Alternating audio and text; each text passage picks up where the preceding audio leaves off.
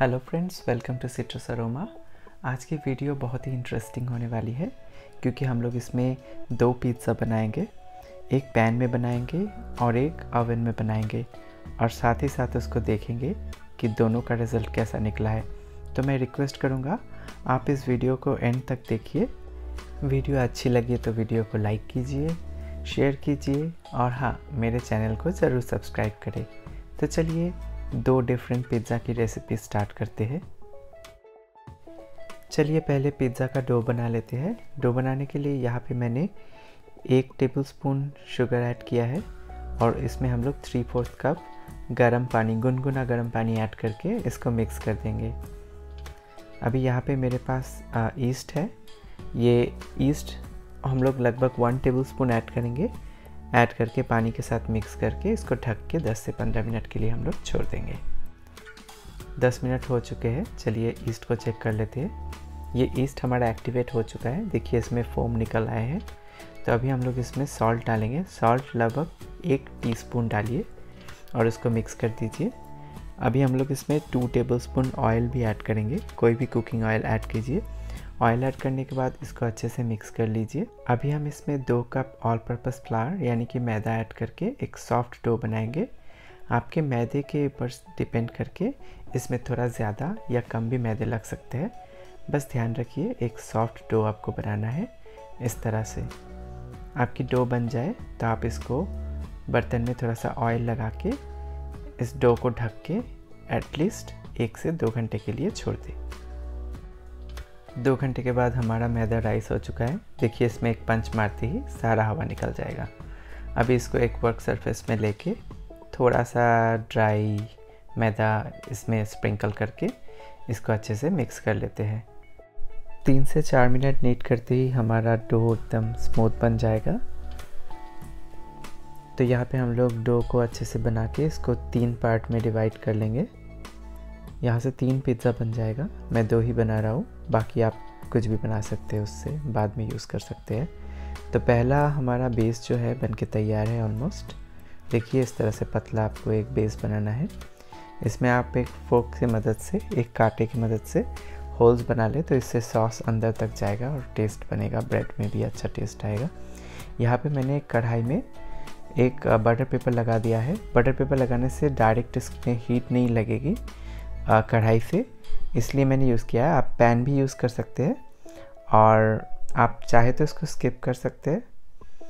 ये totally optional है। मैंने इसलिए दिया है कि ये कढ़ाई में चिपकेगा नहीं इजीली बाहर आ जाएगा पकने के बाद।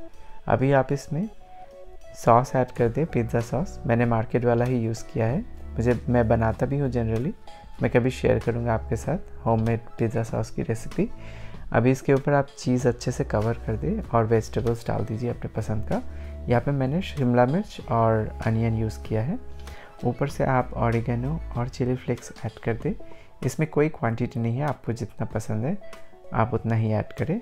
अभी हम लोग इसको ढक के एकदम लो फ्लेम में, लो मतलब लो टू मीडियम फ्लेम में 15 से 20 मिनट तक कुक होने देंगे ताकि जब तक चीज़ भी मेल्ट हो जाए और हमारा ब्रेड भी अच्छे से पक जाए।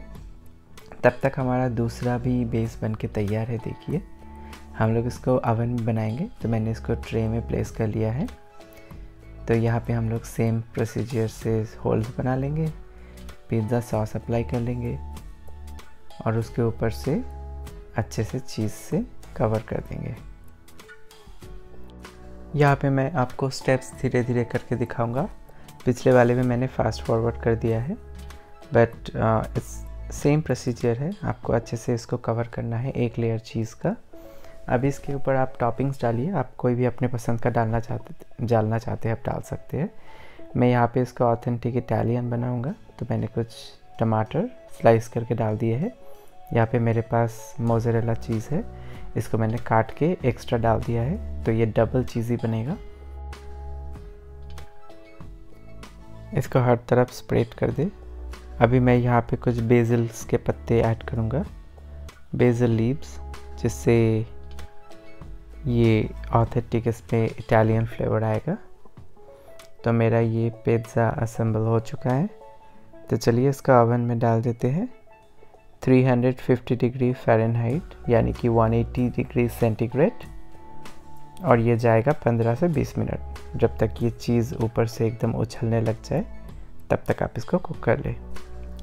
अभी हमारा कढ़ाई वाला तो बन चुका है। देखिए चीज़ मेल्ट हो गया है ब्रेड अच्छे से पक चुका है, और ये हमारा ओवन वाला भी बाहर निकल चुका है। ओके चलिए अभी दोनों पिज़्ज़ा चेक करते हैं। इसको खा के भी देखेंगे, और इसका टेक्सचर भी चेक करेंगे। तो ये थोड़ा बहुत ठंडा हो चुका है। मैंने इसको काट लिए है। देखिए, ये परफेक्ट बना है, दोनों ही। पैन में भी परफेक्टली पिज़्ज़ा बनता है, और ओवन वाला तो बना ही है। तो ये दोनों ही बहुत सॉफ्ट बने हैं बट कढ़ाई वाला पहले बना था तो ये थोड़ा सा ठंडा हो चुका है। तो इसको अगर आप फिर से माइक्रोवेव में रीहीट करेंगे 10 से 15 सेकंड के लिए रीहीट करें। और हाँ मैं आपको एक टिप बता रहा हूँ, आप इसको रीहीट करते वक्त इसमें थोड़ा सा मतलब एक टीस्पून उसमें पानी डाल के रीहीट करें। तो देखिए, ये एकदम च्यूई नहीं बनेगा। और इसको रीहीट करने के बाद तुरंत से खाना है, नहीं तो बहुत हार्ड बन जाएगा। अगर आप सही मेथड से बनाएँगे तो आप चाहे पैन में बनाइए या अवन में, आपका पिज़्ज़ा हर बार परफेक्ट बनेगा। अगर आपको ये रेसिपी अच्छी लगी है तो मेरे वीडियो को ज़रूर लाइक कीजिए। मेरे चैनल को सब्सक्राइब करना मत भूलिए। मैं अगली बार हाजिर हो जाऊँगा फिर एक नई रेसिपी के साथ। Till then take care and bye